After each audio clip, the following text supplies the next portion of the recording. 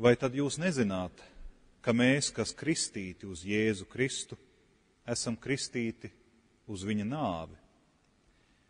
Tā mēs kristībā līdz ar viņu esam aprakti nāvē, lai tāpat kā Kristus, kas caur tēva godību uzmodināts no mirušajiem, arī mēs staigātu jaunā dzīvē. Ja mēs ar viņu esam savienoti nāves līdzībā, tad būsim ar viņu savienot arī augšām celšanās līdzībā, zinādami, ka vecais cilvēks mūsos ir līdz ar viņu krustā sists, lai tiktu iznīcināta grēcīgā miesa. Tā ka mēs vairs nekalpojam grēkam, jo tas, kas nomiris, ir attaisnots un brīvs no grēka. Ja esat miruši līdz ar Kristu, mēs ticam, ka arī dzīvosim līdz ar viņu, zinādami, ka no mirušiem augšām celtais Kristus vairs nemirs. Nāve vairs nevalda pār viņu, jo mirdams viņš reiz par visām reizēm ir nomiris grēkam, bet dzīvodams viņš dzīvo dievam. Tā uzskatiet arī jūs sevi, kā mirušus grēkam, bet dzīvus dievam, Jēzu Kristu. Tie ir svēto rakstu vārdi. Ja kāds jums skolā mēģināja iemācīt mīlēt raini, vai arī lika lasīt blaumani,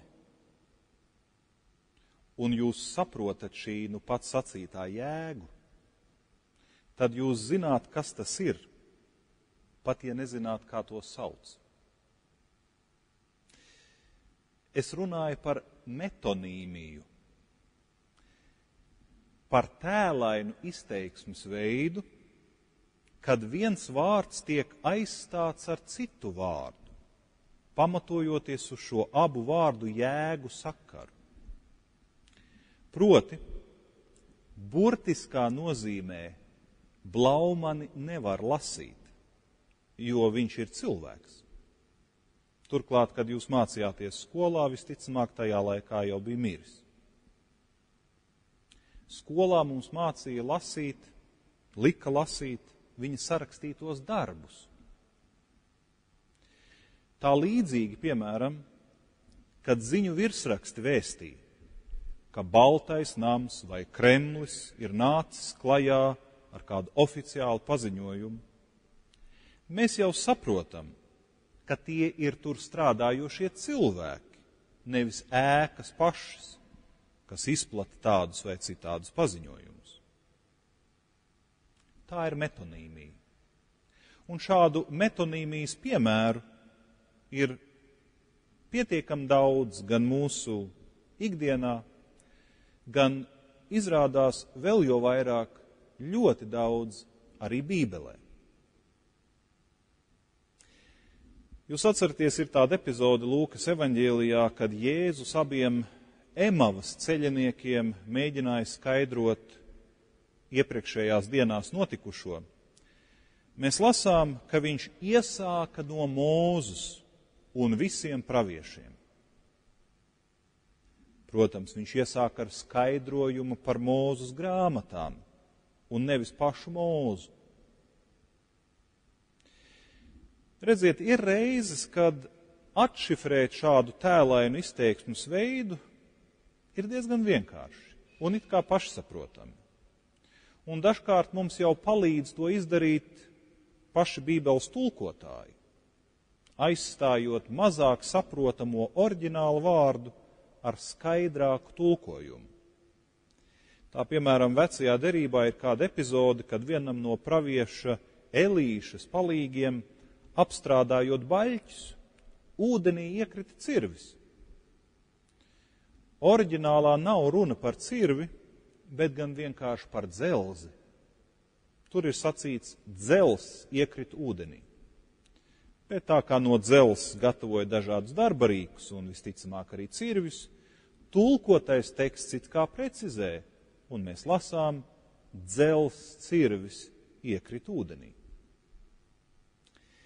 Redziet, bet mēdz notikt, ka teksta tēlainība nemaz nav tik viegli pamanāmi, jo tur lietotie vārdi ir pārāk pierasti un pārāk ikdienišķi. Nu, lūk, manuprāt, viena no vislielākajām grūtībām, lasot jaunās derības tekstus, ir visi tie teksti, kuros ir runa par nāvi, miršanu un augšām celšanos.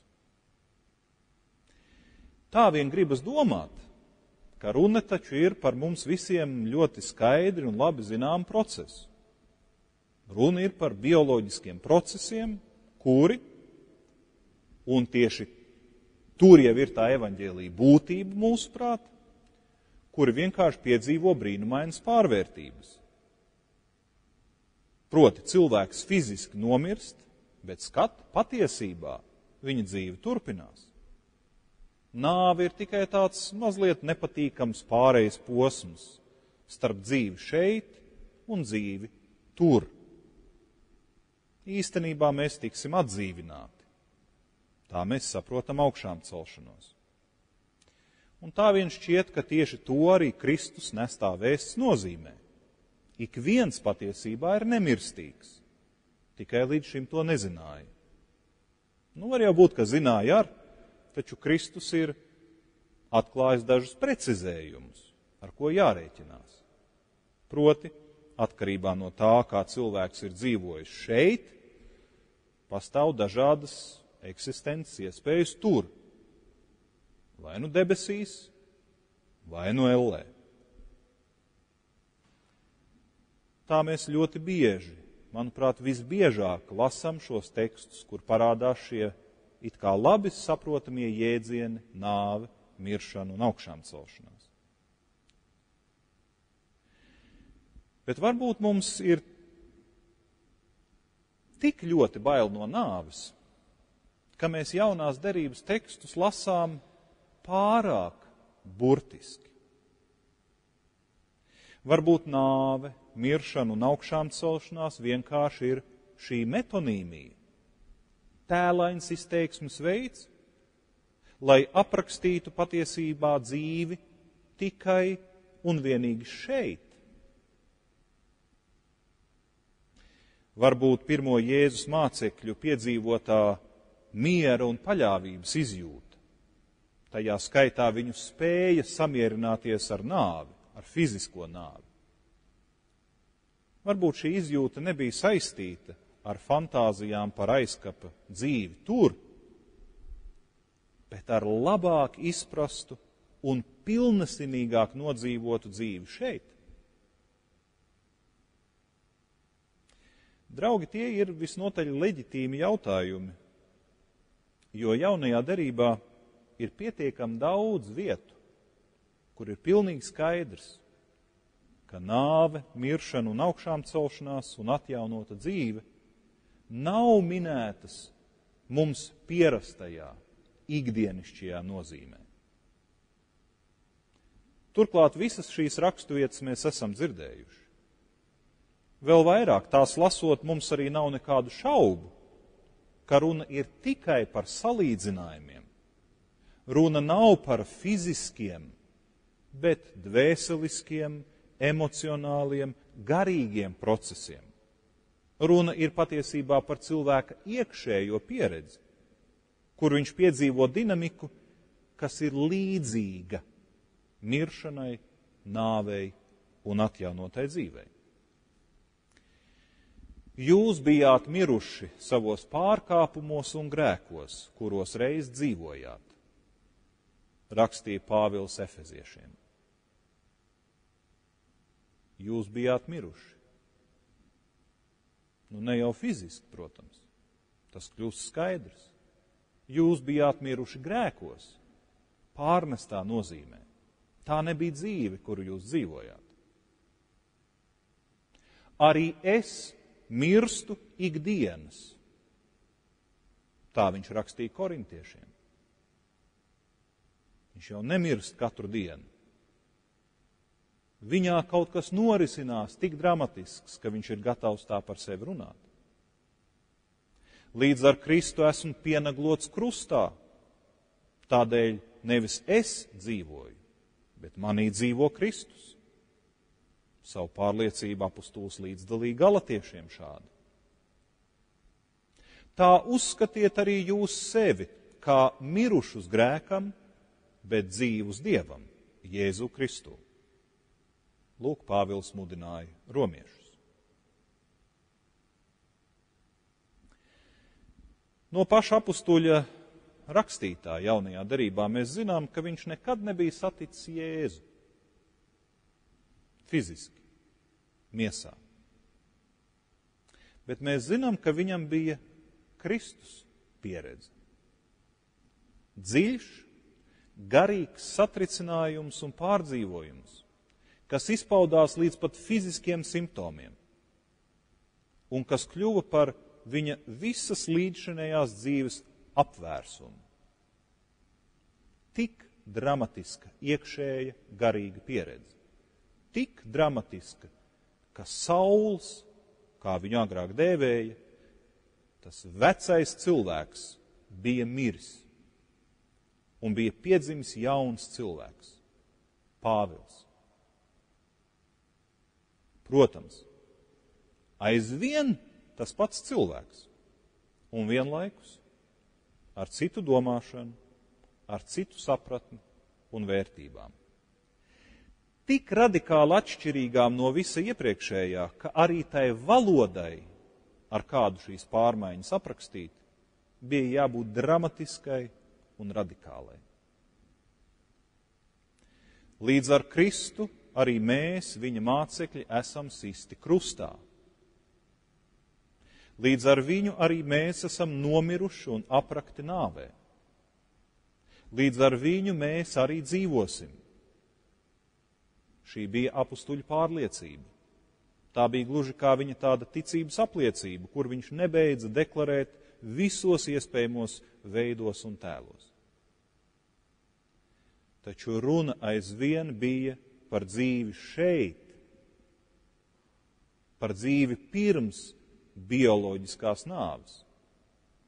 Pāvils vienkārši mēģināja aprakstīt to milzīgo atšķirību starp veco, ierasto un jauno Jēzus iemiesoto veidu, kā viens cilvēks var dzīvot, kā būt cilvēkam.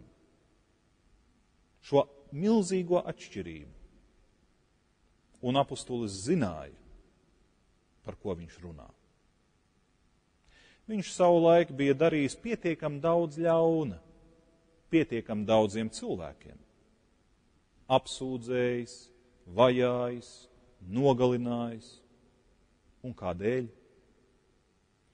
Tādēļ, ka baidījās visticamāk no tiem, kuri ticēja citādāk, izskatījās citādāk, dzīvoja citādāk. Tieši bailes. Bailes par savu identitāti, bailes par savu izdzīvošanu, bailes rada naidu un agresiju. Un šādās eksistenciālās, eksistenciālās bailēs dzīvojot, ar laiku jebkuras vismazākās pārmaiņas šo baiļu sajūtu un tām sekojošo naidu un agresiju tikai pastiprina un pastiprina un pastiprina, līdz cilvēks to vairs nevar izturēt un ir spiests savu iekšējo spriedzi izlādēt. Un tad Dieva radītajai pasaulē pāri pārveļas kārtējais vardarbības vilnis. Katru dienu, visur pasaulē, ik pa brīdim. Lūk, tie ir cilvēki, kas Pāvila vārdiem runājot, ir miruši savos grēkos. Fiziski viņi ir dzīvi iet uz darbu, rūpējas par ģimeni, izklaidējas, bauda. Taču Dieva izpratnē tā nav dzīve. Tā nav tā dzīve. Dziļākajā nozīmē viņos un viņos viņiem visapkārt valda nāve. Lūk, šādu cilvēku dzīvošanu kopā jaunā derība dēvē par elli. Ellē nav nekā kopēja ar iedomāto aizkapa dzīvi. Elle ir šīs pasaules realitāte. Līdzīgā veidā arī debesis, lietojot bīskapa Džona Šelbija Sponga izteikumu, ir jēdziens, kas vairāk apzīmē dzīves kvalitāti nekā dienu kvantitāti. Un dzīve var būt citādāka. Tā var būt labāka. Tas bija Jēzus vēstījums.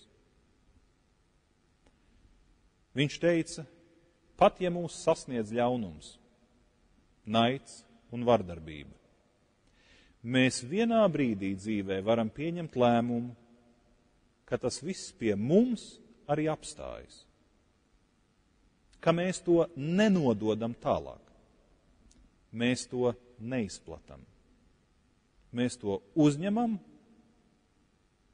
un pie mums tas arī paliek.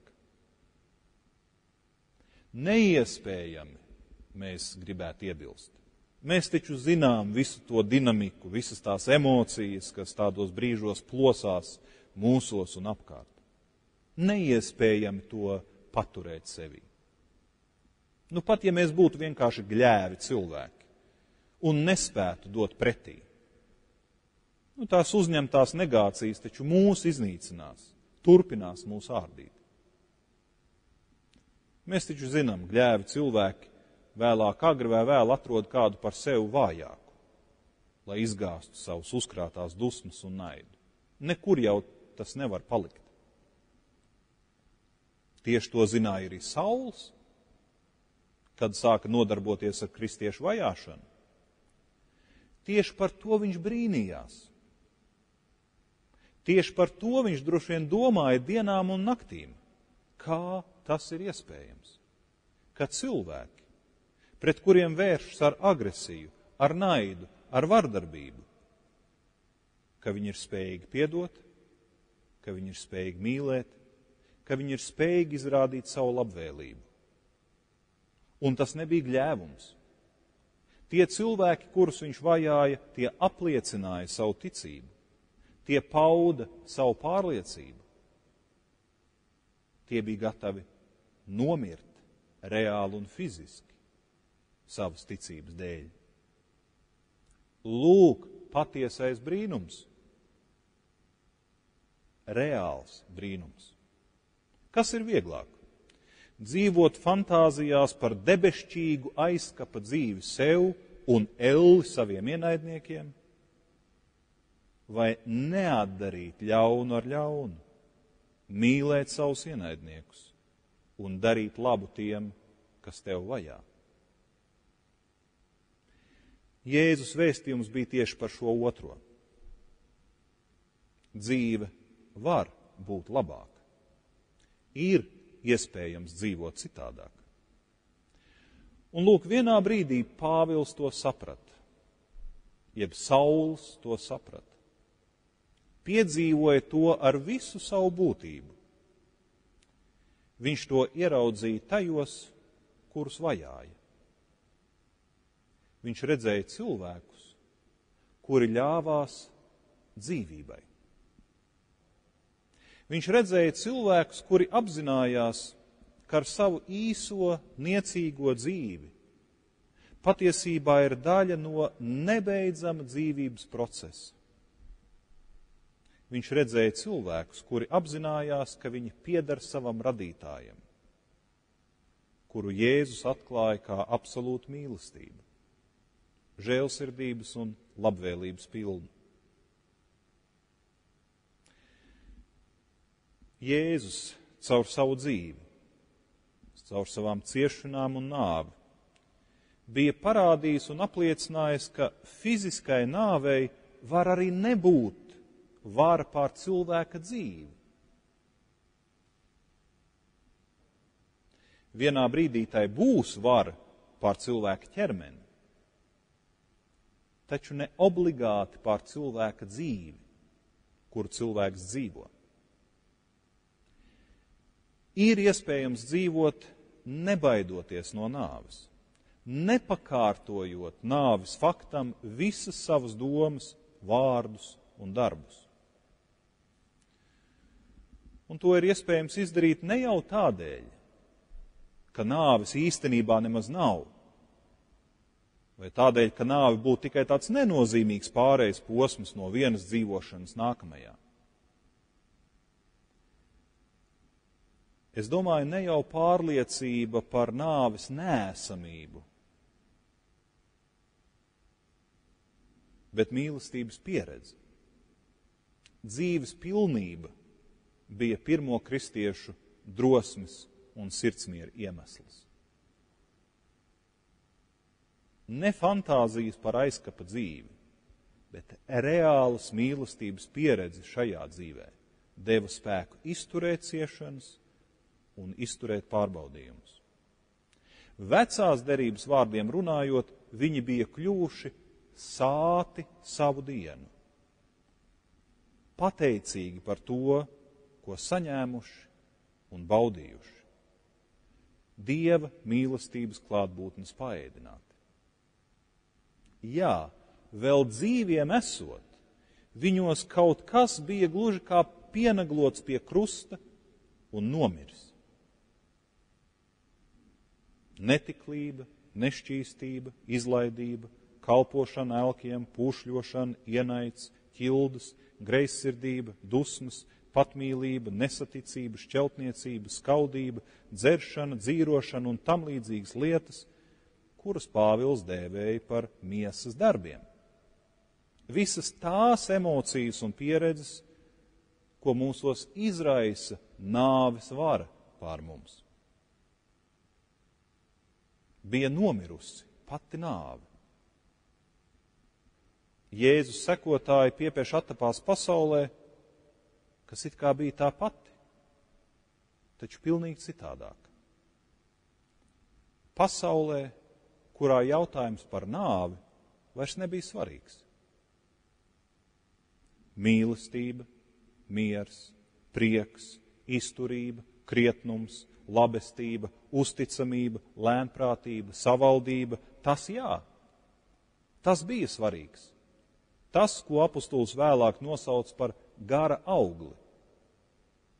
Tas bija kļuvis svarīgs. Un Pāvilam atlika tikai secināt, nāve ir aprīt uzvarā. Kur nāve tava uzvara? Kur elle tavs dzelonis? Dzīve var būt laba par spīti nenovēršamai nāvis klātbūtnē tajā. Visu nosaka pieredze, attieksme un izvēles. Āmen!